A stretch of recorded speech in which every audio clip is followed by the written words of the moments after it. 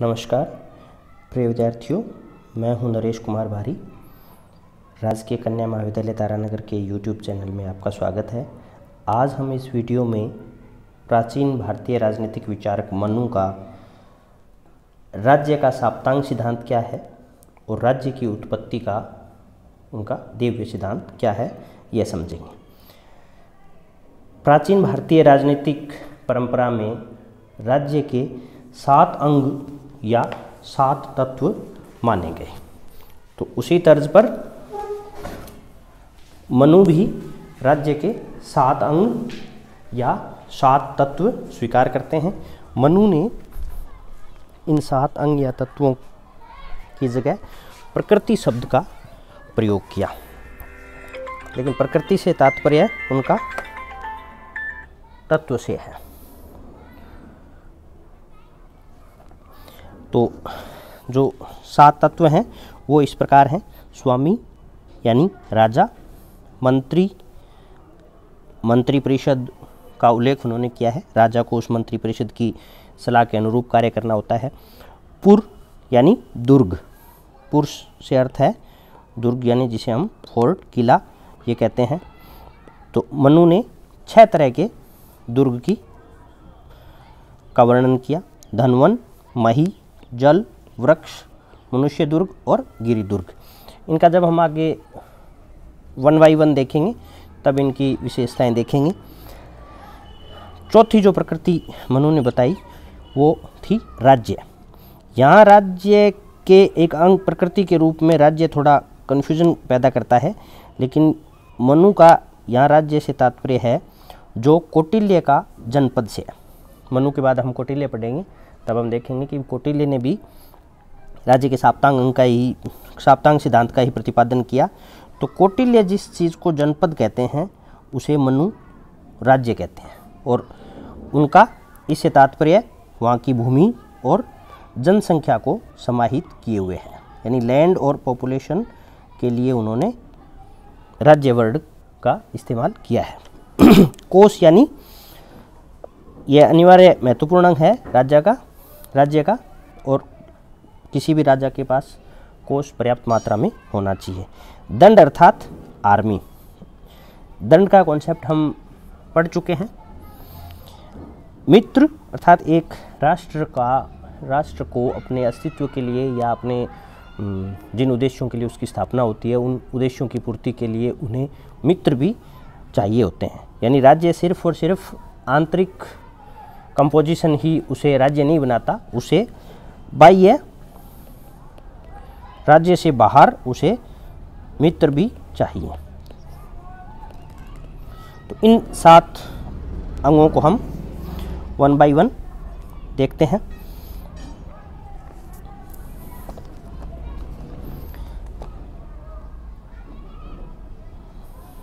One second.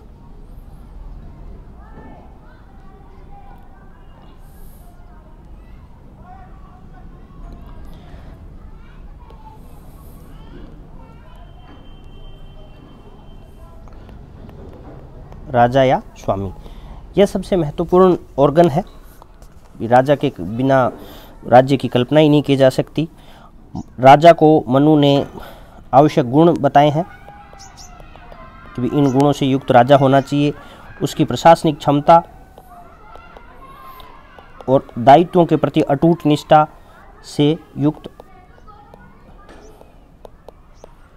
दायित्वों के प्रति अटूट निष्ठा से युक्त अनेक नैतिक गुणों से युक्त राजा की धारणा मनु ने युक्त की है।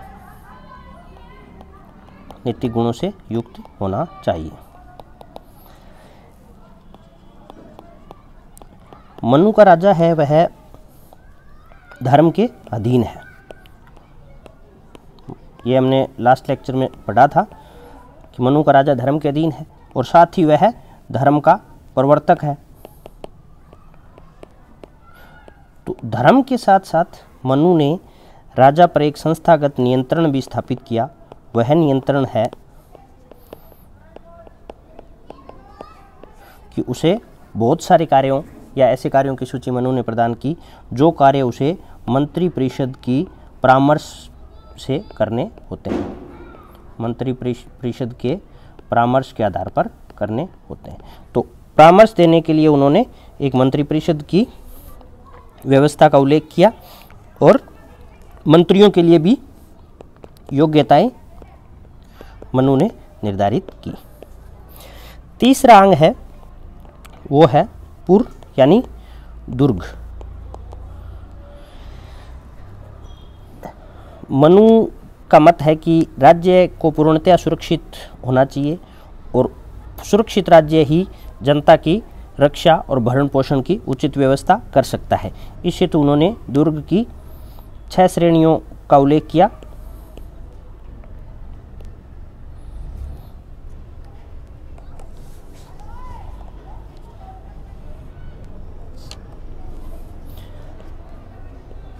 दुर्ग की छह श्रेणियों में धनवन दुर्ग, मही दुर्ग, जल दुर्ग, वृक्ष दुर्ग, मनुष्य दुर्ग और गिरी दुर्ग हम इन नामों को समझ चुके हैं। इनका डिटेल में आगे हम देखेंगे।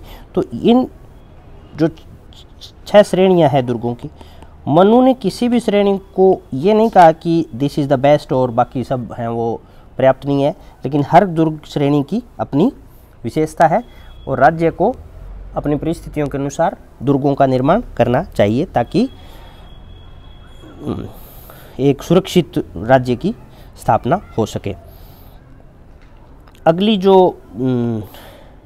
विशेषता है, वह है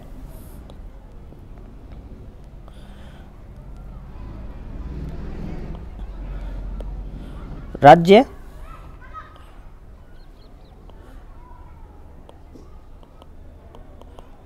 यानी लैंड एंड पॉपुलेशन ज़मीन और जनसंख्या से मिलकर ये विशेषता बनी हुई है।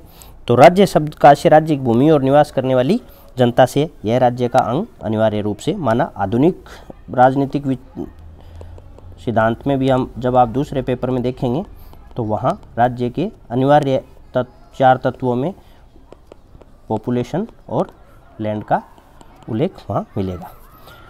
अगला है कोष कोष से तात्पर्य है कि राजा के पास इतनी पर्याप्त मात्रा में धन होना चाहिए ताकि वह प्रजा की सुरक्षा और कल्याण के लिए विभिन्न प्रकार के कार्य कर सके। सुरक्षा और कल्याण के विभिन्न प्रकार के कार्य करने हेतु पर्याप्त पैसा उसके पास कोष में होना चाहिए। यहाँ में एक बात ध्यान देने योग्य है कि मनु जब भी बात करते हैं तो मनु का राज्य सिर्फ़ और सिर्फ़ सुरक्षा तक सीमित नहीं है।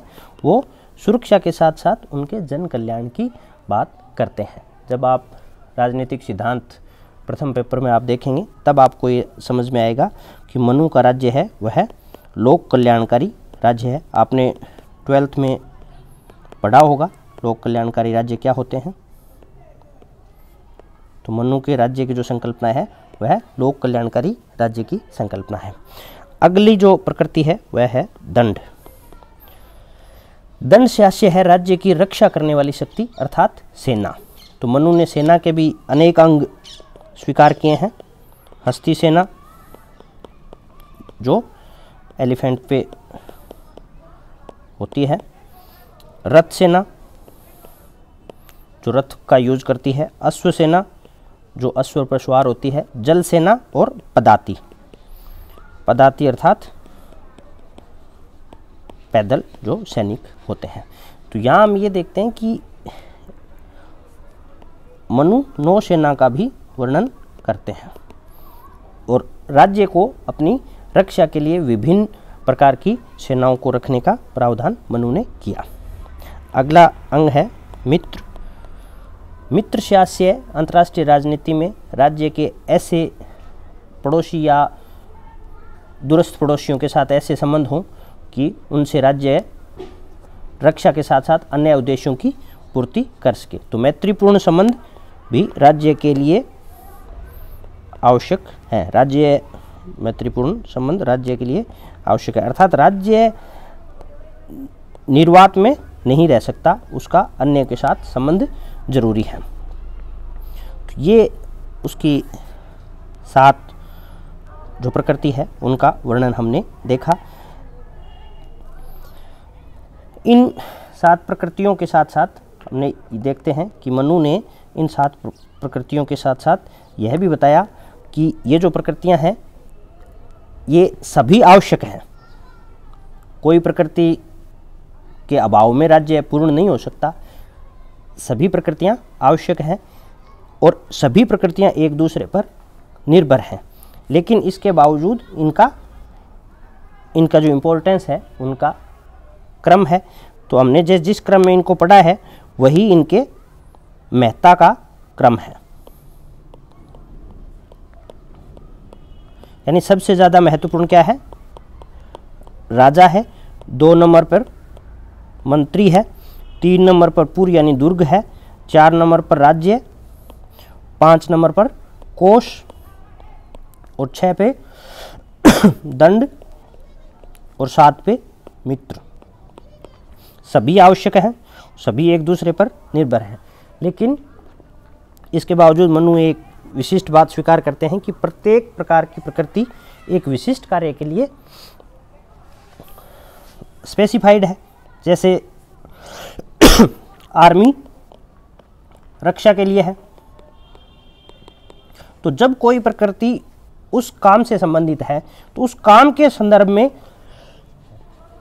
वही श्रेष्ठतम है। Thank you thank you so much